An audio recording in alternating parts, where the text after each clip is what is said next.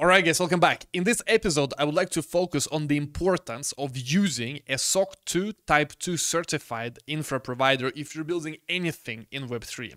And as you know, we at Moralis are SOC 2 Type 2 certified. We are providing RPC nodes, for example, on all kinds of different blockchains, and we're adding new blockchains all the time. We are providing APIs for all kinds of use cases. We're serving the biggest clients in Web3, such as, for example, MetaMask, Blockchain.com, Wirex, and so many others. Millions of users are using apps that are powered by Moralis each and every day. And the reason why we're so successful is because we take security seriously. We're taking all kinds of precautions to ensure that your app is never down. Because at the end of the day, we are dealing with finance. At the end of the day, let's say you build a wallet or a DEX and suddenly your infra provider has a problem.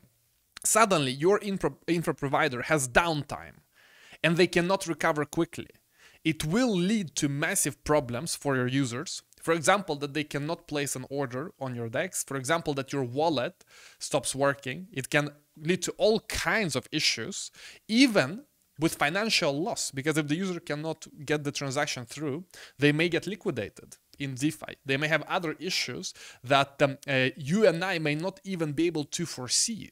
And so this is the most important thing to realize when building in Web3 that the responsibility is massive. And of course, if you are using a Web3 provider such as Moralis, which is SOC 2 Type 2 certified, you can be sure that we have highly available systems. You can be sure that we do have disaster recovery. You can be sure that we have security training for all our staff and that everything is according to the compliance standards, global compliance standards of a SOC 2 Type 2 certified uh, infra company. You can read more on moralis.io slash security. If you have any questions whatsoever, feel free to reach out to hello at moralis.io and we look forward to serving your app via our RPC nodes, for example, APIs, or real-time Uh, data streaming systems. So go to moralis.io and hope to be working together very, very soon.